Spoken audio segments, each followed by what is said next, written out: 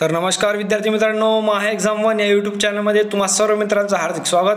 विद्यार्थी मित्रांनो Maharashtra public service commission म्हणजेच महाराष्ट्र लोकसेवा आयोगाची अत्यंत महत्त्वाची आत्ताच सर्वात ताजी बातमी आपल्या हाती आलेली आहे.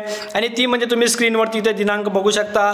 सात एप्रिल दोन हजार वीस आणि प्रसिद्धीपत्रक बघा नेमकं या प्रसिद्धीपत्रकामध्ये काय म्हटलं हे आपण जाणून घेणार आहोत. विद्यार्थी मित्रांनो ज्या गोष्टीची आपल्याला भीती होती तेच गोष्ट नेमकी समोर येत आहे. बघा विद्यार्थी मित्रांनो सविस्तर जाणून घेऊया.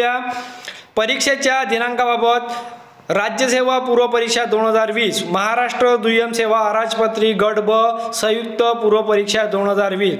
नोवेल कोरोना कोविड नाईन्टीन विषाणूचा वाढता प्रादुर्भाव रोखण्याकरिता सुरू असलेल्या प्रतिबंधात्मक उपाययोजनेच्या अनुषंगाने दिनांक बावीस मार्च दोन हजार वीस रोजी होणाऱ्या प्रसिद्धीपत्रकाद्वारे दिनांक सव्वीस एप्रिल दोन हजार वीस व दहा मे दोन हजार वीस रोजी नियोजित अनुक्रमे राज्यसेवा पूर्व परीक्षा दोन हजार वीस व महाराष्ट्र दुय्यम सेवा अराजपत्री गट ब संयुक्त पूर्वपरीक्षा दोन हजार वीस या दोन्ही परीक्षा सार्वजनिक हितास्तवे पुढे ढकलण्यात येत आहे म्हणजे विद्यार्थी मित्रांनो तुम्हाला वरील नमूद दोन्ही परीक्षा ह्या अनिश्चित काळासाठी पुढे ढकलण्यात येत आहे. त्यानंतर बघा उपयुक्त दोन्ही परीक्षा आयोजनासंदर्भात सुधारित दिनांक यथावकाश आयोगाच्या संकेतस्थळावर घोषित करण्यात येईल. म्हणजे ज्यावेळेस तुमचे परीक्षा राहील त्यावेळेस वेळेस विद्यार्थी मित्रांनो त्याच्या काही दिवसाआधी तुम्हाला संकेतस्थळाच्या माध्यमातून सूचित केल्या जाणार आहे.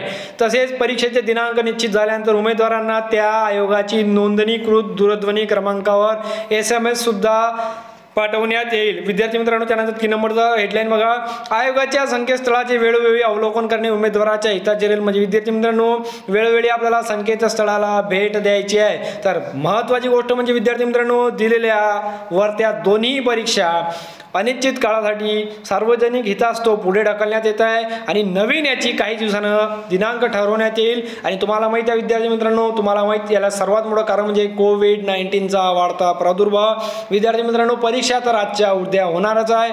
आपल्या संपूर्ण भारतावरती एवढं मोठं संकट आलं कोरोना विषाणूच्या माध्यमातून त्याला आपल्याला प्रथम नष्ट करायचं आहे आणि आपल्या भारताला आपल्याला कोरोना विषाणूपासून वाचवायचं आहे. भेटूया अशाच एका नवीन व्हिडिओमध्ये. तोपर्यंत जय हिंद.